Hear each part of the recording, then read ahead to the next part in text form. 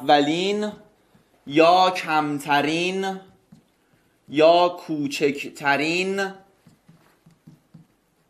سطح سازمان یابی حیات است. حواست باشه.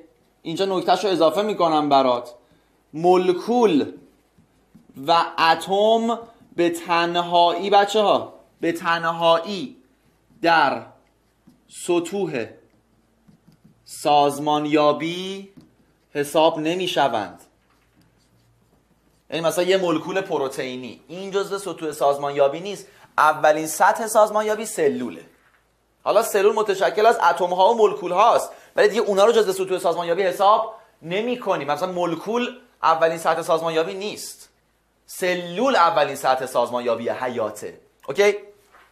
مجموعه سلول های کنار هم دیگه که یه عمل واحدی می‌خوان انجام بدن و میگیم چی؟ بافت میشه مجموعه.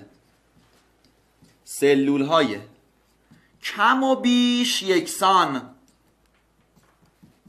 که هدف واحدی دارند یه کار کلی می‌خوان همکار همدیگن یکی شرق نمیره یکی غرب. یه کار کلی می‌خوان انجام بدن و میگن چی؟ بافت. حواست باشه این کم و بیش رو روش تاکید می‌کنم.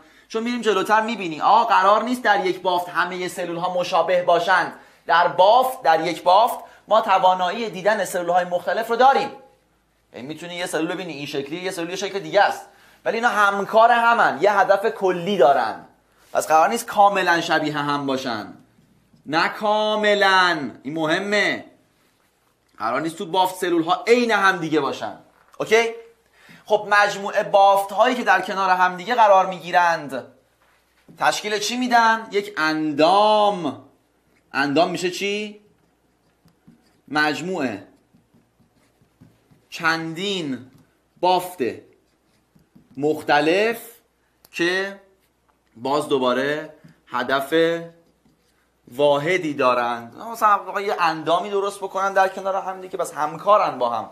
ولی این مهمه. اولا که خود چندین بافتی که اینجا استفاده می‌کنم لغتشو چندین بافتمون چی هن؟ مختلف نه یکسان. یعنی یک اندام متشکل از چند بافت مختلفه. چند بافت یکسان که اصلا معنی نداره. خب میشه یه بافت. چند بافت یکسان که خب یه بافت دیگه ها؟ چند بافت مختلفن که میشه اندام نه چند بافت یکسان. ببین در تعریف بافت گفتم مجموعه سلول های کم و بیش یکسان. کم و بیش یکسان. حالا کم و بیش گفتم چون نه کاملا عین هم.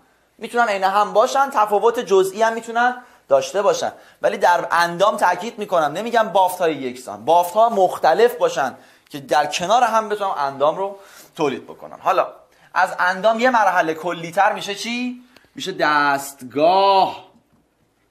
دستگاه در واقع مجموعه. چندین. اندام در کنار هم که باز دوباره می نویسم این اندام ها هم یه هدف واحدی دارند. مثلا نگاه می‌کنی میگه آقا اینا دور هم جمع شدند که گردش خون رو ایجاد کنند. این اندام ها یا اینا بغل هم جمع شدند دستگاه اسکلتی رو تولید کنند. یا این اندام ها بغل هم جمع شدن دستگاه تنفس رو تنفس این فرد یعنی مشخصه می‌خوان چی کار کنن. یه هدف واحدی باز دوباره دارند. و طبیعتا باز چندین اندام دیگه. آقا این چندین اندامی که اینجا ذکر کردی باید متفاوت باشن یا می‌تونن یکسان باشن؟ میگم هم می‌تونن متفاوت باشن هم می‌تونن یکسان باشن. یعنی مثلا ما در دستگاه اسکلتیمون خب یه دونه استخوان بازو که نداریم خب دو تا داریم. دو تا عین همن. ولی خب استخوان بازو داری استخوان مثلا دنده هم داری. خب دنده دیگه با بازوی یکی نیست دیگه ها؟ پس این چندین اندامی که در کنار هم دیگه می‌خوان دستگاه رو بسازند هم مشابهند هم متفاوت.